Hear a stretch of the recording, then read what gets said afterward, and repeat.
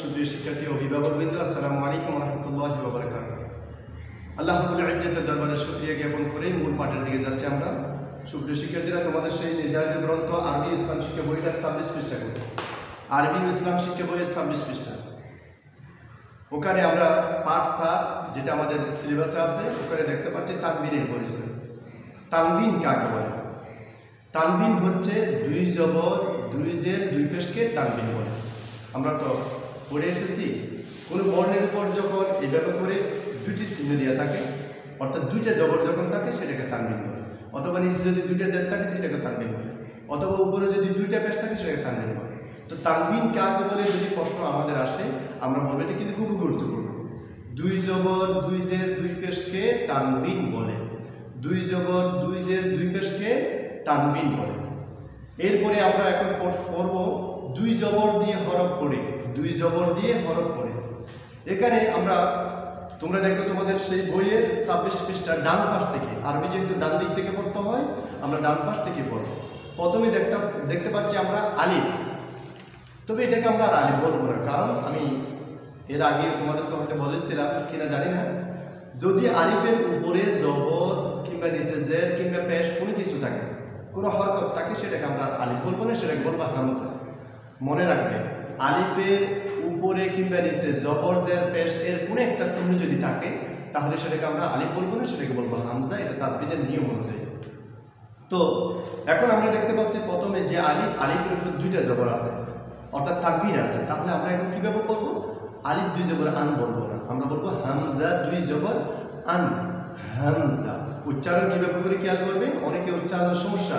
আমাদের আসলে আমরা যেহেতু অনারবিত, যার কারণে আমাদের উচ্চারণে প্রচুর সমস্যা হয় আরবিতে হামজা দুই জবর আন, হামজা দুই জবর আন, বা দুই জবর বান, তা দুই জবর তান, সা দুই জবর সান, জিম দুই জবর জান, হা দুই জবর হান, খ দুই জবর খন দাল দুই জবর দান রাল দুই জবর রান র দুই জবর রন ঝা দুই জবর জান সিন দুই জবর সান শিন দুই জবর শান সদ দুই জবর সন দদ দুই জবর দন ত দুই জবর তন ল দুই জবর লন আইন দুই জবর আন গইন দুই জবর গন ফা দুই জবর ফান অফ দুই জবর অন কাফ দুই জবর কান লাম দুই জবর লান মিম দুই জবর মান নুন দুই জবর নান ওয়াও দুই জবর ওয়ান হা দুই জবর হান হামজা দুই জবর আন, ইয়া, দুই জবর ইয়ান। সুপ্রিয় শিক্ষার্থীরা, তাহলে আমরা এখন দুই জবর দিয়ে পড়েছি। এরপরে দেখে, দেখো তোমরা, দুই জের দিয়ে আমরা হরফ পড়ব। হামজা, দুই জের ইন, বা, দুই জের বিন, তা, দুই জের তিন, সা, দুই জের সিন, জিন, দুই জের জিন, হা, দুই জের ইন খ, দুই জের খিন দাল দুই জের দিন রাল দুই জের দিন র দুই জের রিন ঝা দুই জের জিন সিন দুই জের সিন শিন দুই জের শিন সদ দুই জের সিন বদ দুই জের লিন ত দুই জের তৈন ল দুই জের লিন আইন দুই জের রিন গয় দুই জের রিন ফা দুই জের ফিন কফ দুই জের কিন। কাফ দুই জের কিন। লাম দুই জের লিন। মিম দুই জের মিন। নুন দুই জের নিন। দুই জের উইন। এখানে একটা বিষয় আছে, সেটা হচ্ছে ওয়াও দুই জের বিন দিছে।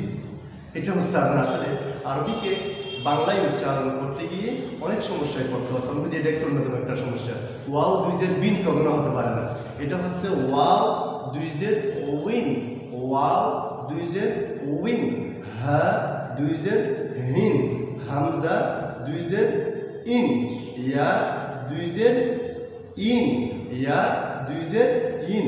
সুপ্রিয় শিক্ষার্থীরা, এরপরে দেখো দুই পেশ দিয়ে আমরা হরফ হরফ করব হামজা, দুই পেশ উন, বা, দুই পেশ গুন তা, দুই পেশ তুন, সা, দুই পেশ সুন জিম দুই ফেস জুন আর দুই ফেস খ দুই ফেস খুন দাল দুই ফেস দুন জাল দুই ফেস দুন র দুই ফেস রুন জ দুই ফেস জুন সি দুই ফেস সুন সি দুই ফেস সুন স দুই ফেস সুন ব দুই ফেস দুন ত দুই ফেস তুন ল দুই ফেস দুন আই দুই ফেস রুন হয় দুই ফেস গুন ফা দুই ফেস ফুন কফ দুই ফেস উন কাফ দুই ফেস কুন লাম দুই ফেস লুন মিম দুই ফেস মুন নুন দুই ফেস গুন ওয়াও দুই ফেস গুন হা